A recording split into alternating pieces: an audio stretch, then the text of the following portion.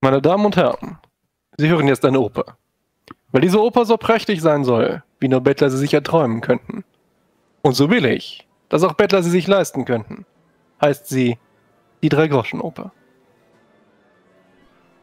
Mondlicht, schau hinauf in das Mondlicht, geh ins Land der Erinnerung.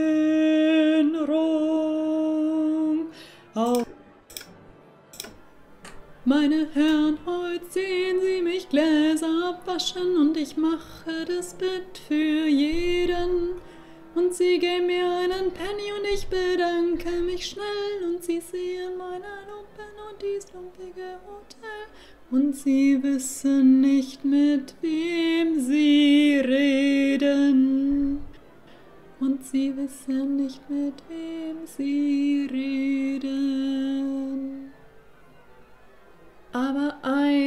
Tags wird ein Geschrei sein am Hafen und man fragt, was ist das für ein Geschrei? Und man wird mich lächeln sehen bei meinen Gläsern. Und man sagt, was lächelt die dabei? Und ein Schiff mit acht Segeln und mit fünfzig Kanonen wird liegen am Kai. Man sagt gewisch deine Gläser, mein Kind, und man reicht mir den Penny hin. Und der Penny wird genommen und das Bett wird gemacht. Es wird niemand mehr drin wohnen in dieser Nacht. Und sie wissen immer noch nicht, wer ich bin. Und sie wissen immer noch nicht, wer ich bin. Aber eines Tags wird ein Getös sein am Hafen und man fragt, was ist das für ein Getös? Und man wird mich stehen sehen hinter dem Fenster und man fragt, was lächelt die so bös? Und das Schiff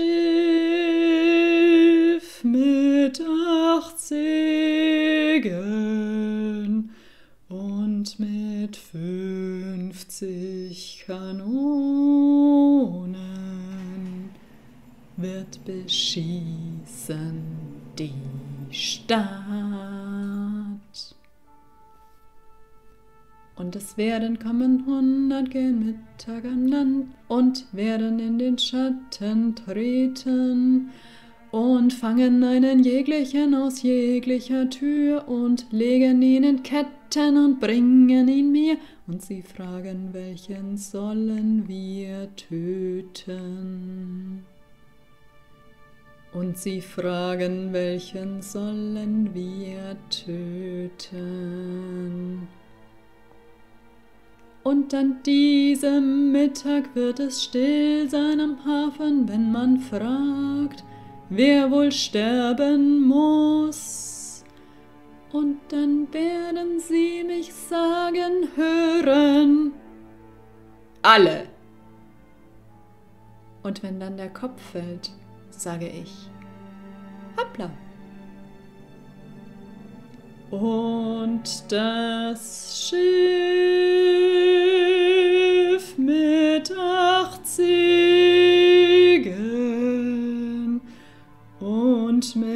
fünfzig Kanonen wird entschwinden mit mir. Herzlichen Dank. Das klang cool. Das ist tatsächlich das Intro zur Drei-Groschen-Oper. Ich meinte damit äh, Tsunami, nicht dich. Ach so. Du hast das auch gut gemacht, Daro. Lass dir nichts einreden. Danke, siehst du. Schoko weiß das gut. Ich dachte, du liest Ja. irgendwie Macbeth oder sowas, aber nein. Ja, und äh, Abelmir und Boltax wollen sich gerade erheben. Ähm, die anderen sind schon vor Stunden gegangen. Da könnt ihr noch sehen, wie zum Abschluss der letzte Rauschmeister, ein Grangora Gondoliere, äh, nach äh, draußen tritt auf die Bühne und er schmettert sein Lied, wie man es Grangor überall hören kann. La donna è mobile, qual pioma al vento, muta d'assiento, e di pensiero sempre un amibile legia troviso in pianto o in riso e menzog nero la donna è mobile qual pioma al vento muta d'assento e di pensiero. Applaus. Höflicher Applaus von mir. Und der Vorhang fällt. Da Capo, Capo. Oh, was für eine Oper. Ein wunderbarer Saisonauftakt, nicht wahr? In der Tat. Sie haben wirklich etwas verpasst. Tja, selbst schuld. Wollen wir morgen wieder in eine gehen?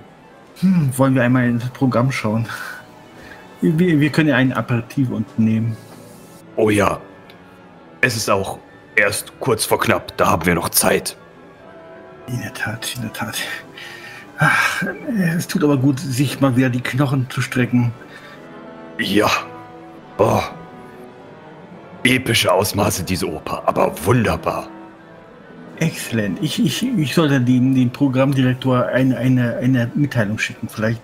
Und äh, dem, de, der hervorragenden Baritona vielleicht einen Blumenstrauß.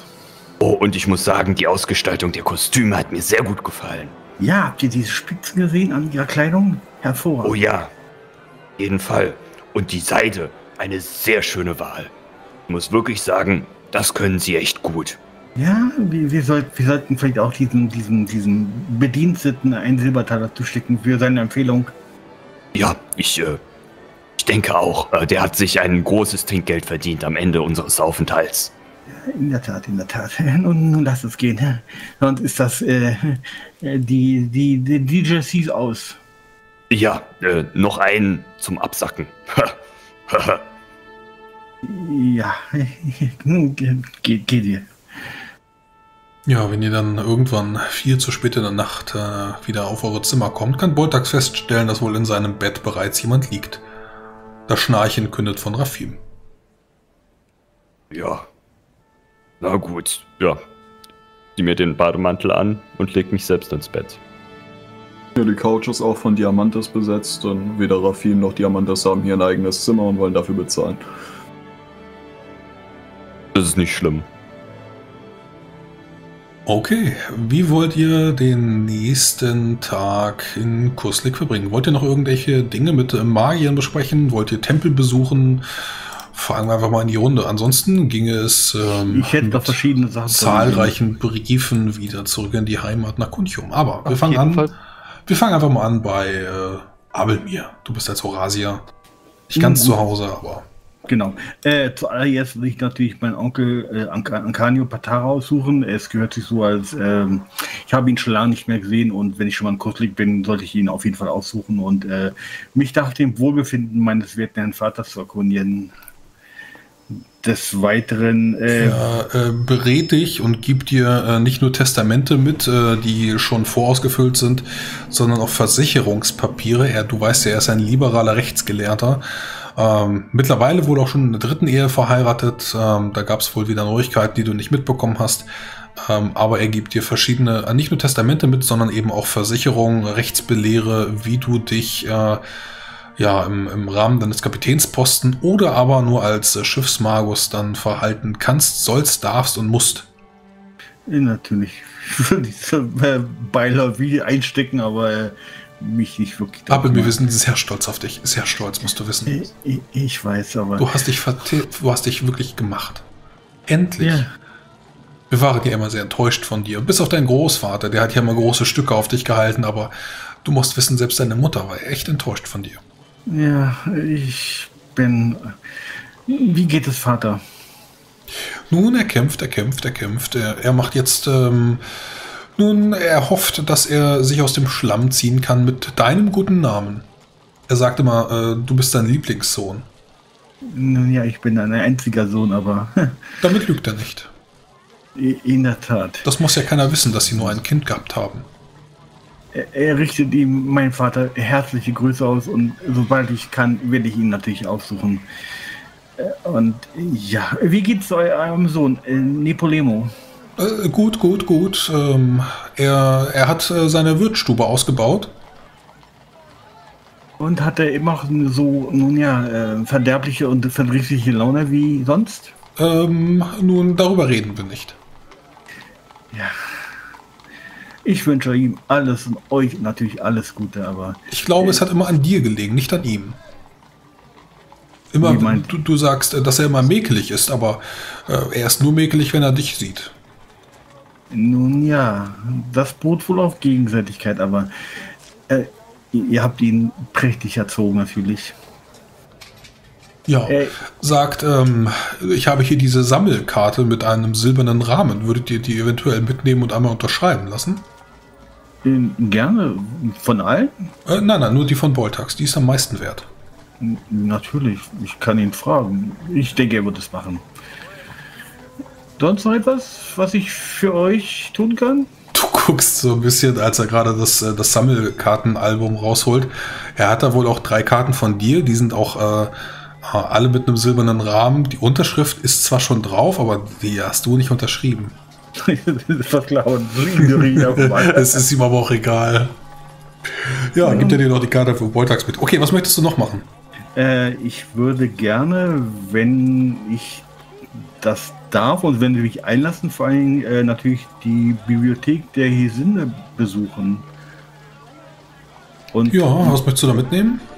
Äh, ich würde äh, also speziell nach zwei Büchern suchen. Und zwar einmal von einem Buch, von dem ich weiß, dass es gibt. Ich weiß nicht, ob es hier gibt und ob es, ob es kopieren lassen könnte.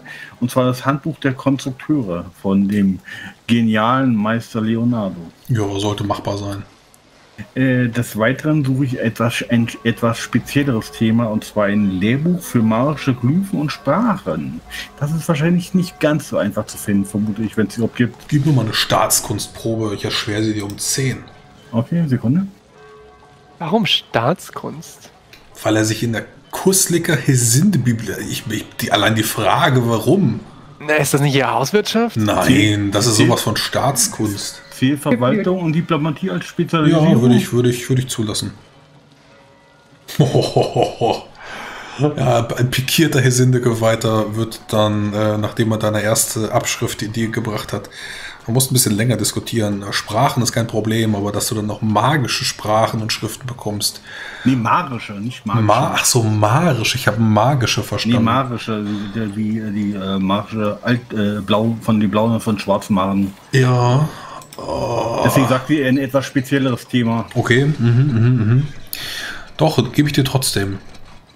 Ähm, das ist eine sehr alte Abschrift, beziehungsweise das Buch ist sehr alt, ein abgefleddertes ähm, Effert Vademeko mit, Rand, mit Randnotizen, in das wohl vor einiger Zeit ein Ferdi wohl mal Randbemerkung geschrieben hat. Du bekommst äh, das Vademekum nicht ausgehändigt, nur die Abschriften werden dir sorgfältig mit einer Seitenzahl ähm, angefertigt. Also Seite, Seite 2, Seite 3, Seite 7, welche Randbemerkung dann diese Ferdi dran geschmiert hat. Und nur die Randbemerkung bekommst Mhm. Ja, dann sage ich, vielleicht eventuell etwas herausziehen kann, um diese Sprache zu erlernen. Darum geht es mir hauptsächlich irgendwie. Ja, schwer, aber bekommst du. Also du darfst es nicht im Selbst, also nicht im äh, Lehrmeister oder im gegenseitigen, sondern im Selbststudium kannst du Marisch lernen. Alles klar.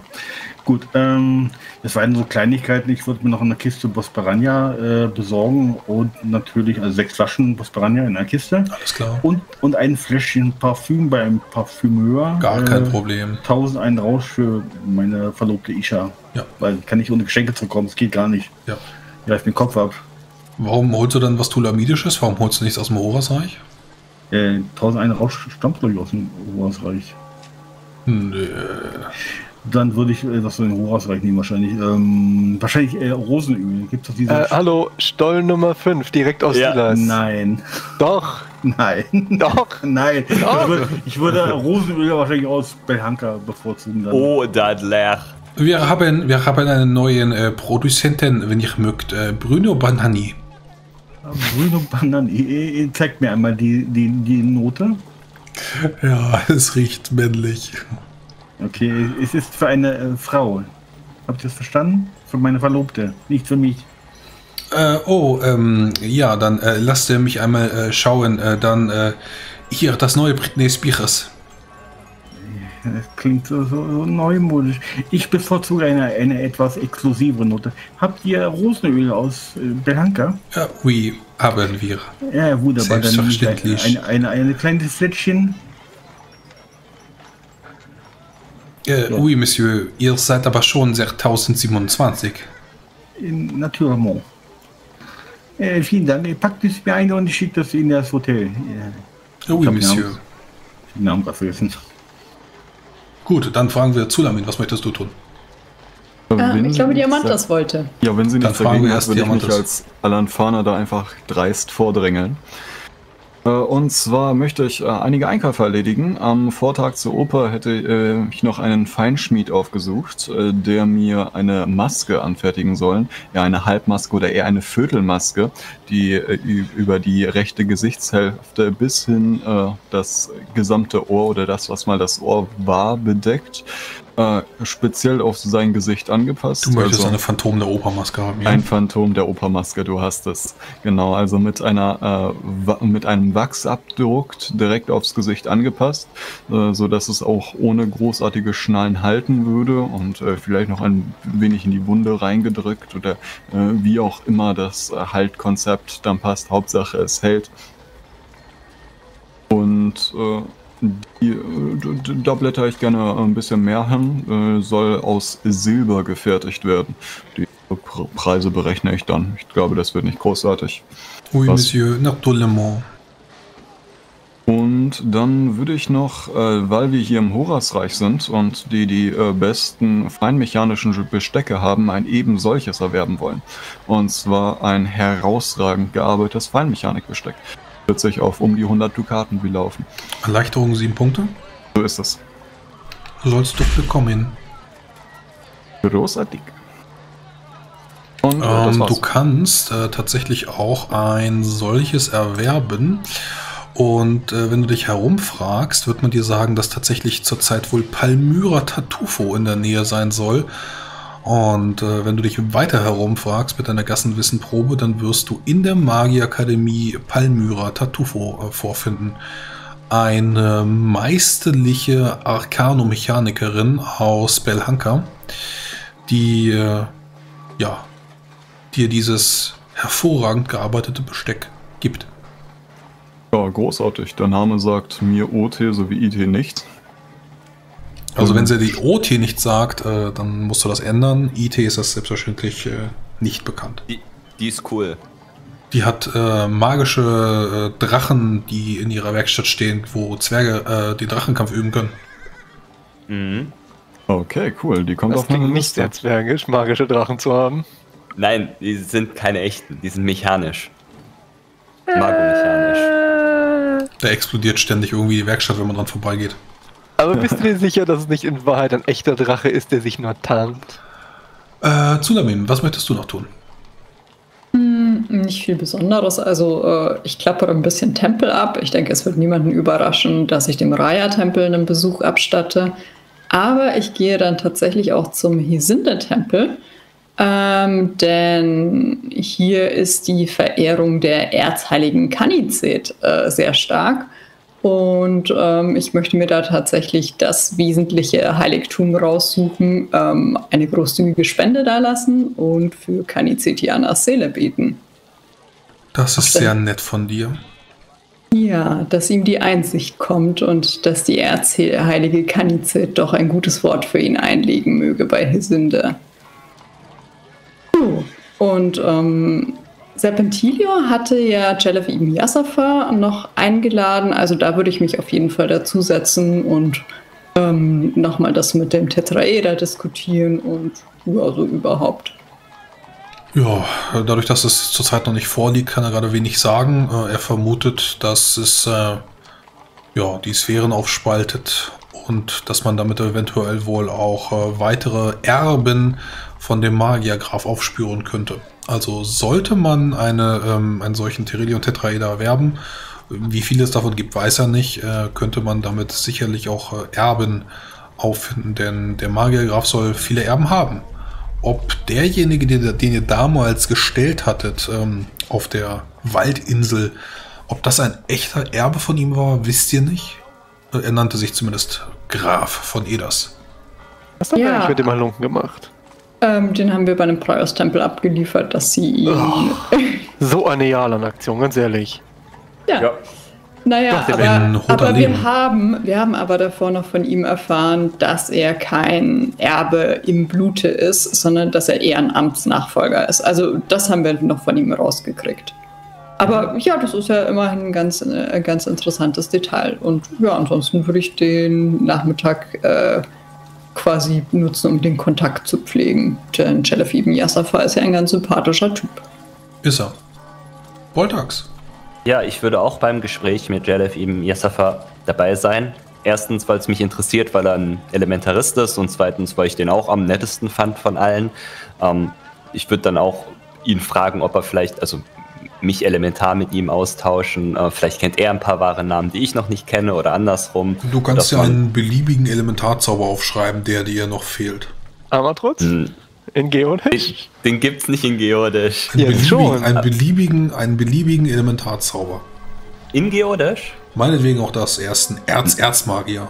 Okay, Nice. dann streiche ich Okay, mir nämlich ja. das Artefakt von der Ja. Liste, das du brauchtest. Ja, ich weiß, ich weiß, welchen ich nehmen werde. Äh, cool. Saugeil. Ähm, und zum Zweiten wollte ich dann noch ähm, ein kleines Paket fertig machen, denn der gute Saldor Vosslerin ist ja immer so griesgrämig und schlecht gelaunt. Und Boltax glaubt, dass es daran liegt, dass er einfach keine Freundin findet. Deshalb mache ich ihm jetzt ein Paket fertig. Ich habe ja extra Stoll Nummer 5 zweimal gekauft. Oh nein. Da mache ich jetzt ein Stoll Nummer 5 und ein Stollengrollen und einen netten Brief schreibe ich ihm. Lieber Saldor, ich weiß, du hast es manchmal schwer in deinem Leben und du möchtest ja nicht so gerne über deine Gefühle reden. Aber ich hoffe, mein kleines Geschenk hilft dir, deine Seelengefährtin zu finden. Ich weiß, es ist schwer, seinen Bruder zu verlieren. Und wenn du mal Hilfe beim Kampf gegen die Drachen brauchst, frag mich. In freundschaftlicher Verbundenheit, Boltax. Yes, du findest bestimmt auch noch die Liebe deines Lebens, so wie ich das getan habe. Oh, Angoshminia ist so toll. Och, ich liebe sie so sehr. Sie ist eine wunderbare Frau. Kurz Ja, bevor dann- ihr nach unten im Keller das Portal betretet, kannst du ihr noch durch das Gemäuer, selbst im unteren Stockwerk, ein langgezogenes Boltax hören, bevor ihr es dann betretet. Glaube, er hat sich gefreut. Rafim, möchtest du noch irgendwas tun? Ja, und zwar mein Ziel ist es, so viel Zeit wie möglich mit Hippolyta zu verbringen. zu verbringen. Alles klar. Nur um den anderen Erzmagiern in die Suppe zu spucken. Den will Äh, überzeugen, würfel eine Überzeugenprobe. Natürlich. Ich bin dafür, dass wir die mit aufs Schiff nehmen. Ähm, nur mit ihr persönlich oder mit mehreren Menschen? Äh, nee, nee, es ist nur Hippolyta. Ist jetzt ein Dann- Einzelgespräch. Ja. Ja. Also kein Verhör, bitte.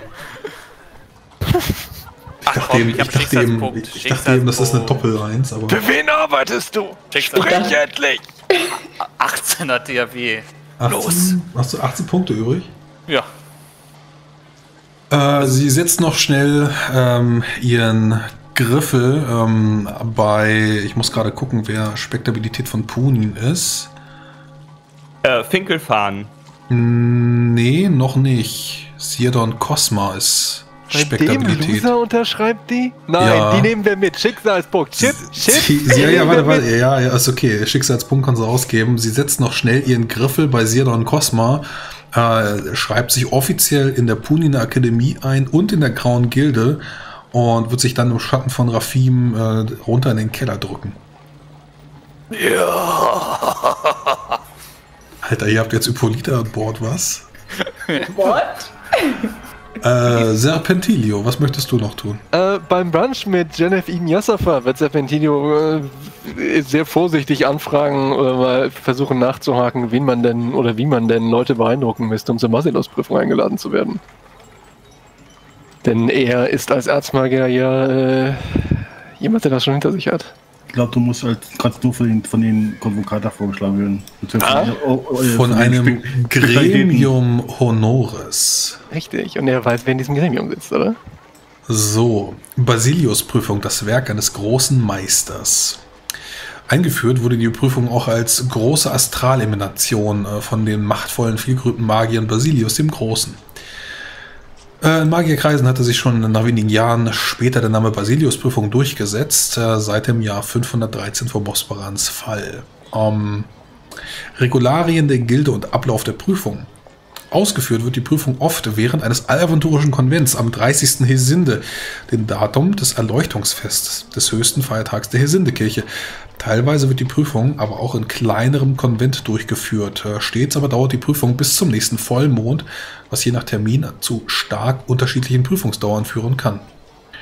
Ein Versagen bei der Basilius-Prüfung ist mit dem Umstand verbunden, dass man alle seine akademischen Titel verliert und den Rang eines einfachen Adepten zurückversetzt wird. Schon allein aus diesem Grund scheuen viele, wenn auch machtvolle Magier davor zurück, sich zu der Prüfung zu stellen. Das Risiko des Verlustes ist so groß, dass man sich lieber nicht an der Prüfung teilnimmt, obwohl man sich für bereit hält. Zu wenig ist auch äh, über das Prüfungsverfahren bekannt, sodass eine Vorbereitung schier unmöglich scheint. Die zeremonielle Durchführung der Basilius-Prüfung obliegt dem Gremium Honoris. Es besteht zum einen aus den drei Konvokata Primi, jeweils einem weiteren Gildenrat jeder Gilde. Zum Weiteren werden jede Prüfung sechs geheime Beisitzer bestimmt, worunter sich äh, üblicherweise stets einige der anderen äh, Erzmagier befinden. Das Gremium bewacht auch die Globule und seine Mitglieder sind die einzigen, die wissen, wie man sie aktiviert und dass die Prüfung in einer Art Globule stattfindet. Das Gremium Honoris kennt auch alle Auflagen und Regularien, die sich noch aus der Zeit von Basilius stammen und in einer weitreichenden Niederschrift aufbewahrt werden. Zur Prüfung zugelassen werden nur wenige Magier, jedoch muss man nicht einer der Gilden angehören. Auch gildenlose Magier können theoretisch an der Prüfung teilnehmen, doch haben sie oft keine Fürsprecher. Man muss nämlich Fürsprecher besitzen und diese müssen dem Gildenrat den Vorschlag unterbreitet haben, dass man als Prüfungskandidat in Frage kommt. Stimmt der Gildenrat zu, so hat man die Erlaubnis, beim nächsten alavendurischen Konvent an der Basilius-Prüfung teilzunehmen. In der Regel muss man große Leistungen für die Gildenmagie verbracht haben, damit der Gildenrat dem Antrag zustimmt. Ja, das kriegen wir hin. Ich glaube, da sind wir alle drei dabei. Drei gehen rein, einer kommt raus. Ja, Ich sage alle vier. Wer weiß, vielleicht kriege ich nochmal ASP. Ich schenk dir einen. Wem, Komm, mit, wem, mit wem sprichst du? Mit wem sprichst du? Genevieve Yassafa. Mit Jelef ibn Yassafa. Seines Zeichens anschlägiger Erzmagier. Ja. Oh, puh. Da will ich aber eine Überzeugenprobe haben. Überreden, oder? Nee. Darf ich, darf ich ihn unterstützen? Ja, darfst du. Darfst du. Darf Äh, ich auch. Ja, darfst du. Überzeugen will ich haben. Also sollte ich auf Überreden ab. Ich will da 30 Punkte haben. Ähm, wie viel muss man, wenn man ableitet, auf Überreden? Um wie viel Zehn. ist dann erschwert? 10. Nicht fünf? Ach so, Warte, 5? Ja, darf ich doch. mit Magie, Es ist doch darf ich. Magiekunde als Hilfstalent verwenden? Ist 5 fünf Punkte. Ja. Ist um 5 Punkte erschwert, dann mache ich es trotzdem erschwert um 5 Punkte. weil ich ja Überreden 17 habe. Also, Zulamin. Ich 10. das. Doppel 1! Yeah! Tri- Ist das eine Triple 1? Nee, 5. Ich habe eine Doppel 1. Nice. Oh Gott, Alter. Okay, dann muss ich nicht mehr Dann schuppen, müssen wir oder? gar nicht mehr würfeln, Du, oder? kann, du hast doch noch einen Schicksalspunkt, Zulamin, dann benutzt das doch. Ja, ich glaube, ich schupp beides, weil 17, 19 ist, äh, ja. Wie dumm ist das denn? Jetzt würfelt er eine Doppel 1. Los? viel besser. Willkommen. So, dann äh, Serpentilio muss selber noch einmal würfeln. Ja, äh, darf ich Magiekunde als Hilfstalent heranziehen? Ähm, ja. Gibt aber Dann- die Hälfte, die Hälfte. Genau, Der, Hilfstalent halt. Oh, die Hälfte von 17 ist? Alter, was ist denn das? 17, 18, 9. Äh, 9. Kriege ich hin, dann äh, Schwert um 5, erleichtert um 4. Äh, Quark, erleichtert um 5, äh, erleichtert um eine- 9, also erleichtert um 4. Würfel deine Probe. Ich äh, lasse auf Überreden ab, wie gesagt. So, äh, das ist flockig geschafft, denke ich. Konvokata Primi Saldor Foslarin, Elkana von Hohenstein und Salpi Conservatin. Konvokati sind Talian de Rafadeon, Metelesa Jakomari, das ist natürlich überhaupt nicht gut für Zulamin, und Demeliue Terbusios. Die kennt ihr auch schon. Die kennen wir tatsächlich schon. Nicht- kennt mich und ich kenne sie. Äh, naja, weil Metelesa Jakomari, ihr wisst ja, dass die nicht so toll ist. Ja, ich habe ja, ich hab ja mit der keine Also sie, persönliche nee, Fehde oder nee, so. das hat sie nicht, aber sie ist einfach unangenehm. Geheime Beisitzer. Ähm, ja, ihr müsst wirklich lange mit Jelef reden und äh, in ihm seinen, seinen väterlichen Großvaterinstinkt wecken. Und den abfüllen. Vergiss das nicht. Nee, nee, nee, kein, er, er trinkt halt nur, äh, nee, er trinkt nicht. Isindiane Gilindor ist von der Weißen Gilde. Grau ist Jelef ibn Yassafa und Taralisin von Borbra. Den kennen wir auch. Ah, also Abel ja. kennt ihn. Und ich glaube die Hälfte von denen Hm, ich habe ihn vom Namen gehört. Und Schwarz, Tomica Therion, Dirion Dirion, Zornbrecht, Lomarion Haben wir einen Sack? Kriegen wir hin? und Deveron Elgastin. Elgerstein, den kennen wir. Den auch. kennt Abelmi vor allem. Ja, Stimmt, den kennen wir. Der kann uns bekannt machen.